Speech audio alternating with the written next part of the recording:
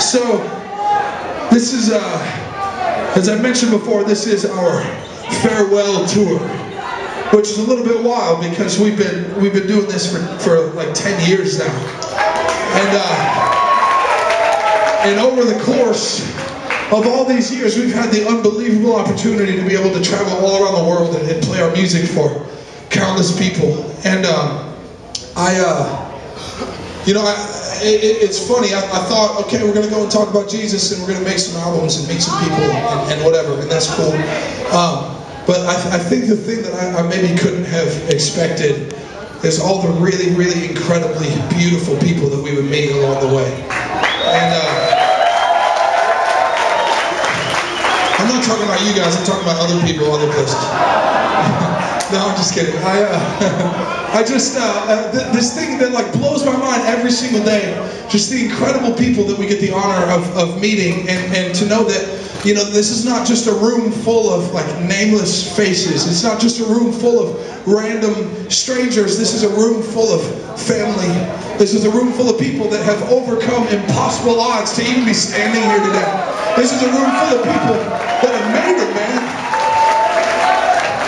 And, uh, and so I want to tell you, I think I can speak for everybody when I say you inspire us so much. And, um, and we are so, so thankful for you. We're thankful to every one of you that ever bought a shirt or a CD or a ticket to a show and came out here and sang a song with us, man.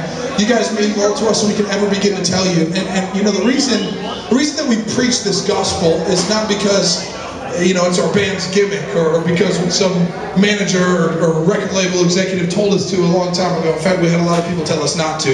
Uh, the reason that we do this is really, really simple. It's because we love you. Because this is where we found hope. This is where we found purpose. This is where we found life. This gospel, this message of Jesus, this is where we found the place that we were looking for our entire lives. And, and so we want to share it with the people that we love, and you are the people that we love. And, and so I want to thank you guys for being a part of this, for giving us a place to share our hearts, man. You guys mean the world to us. So listen, we've just got a few songs left. And let's make these few songs a few songs to remember. Can we do that tonight,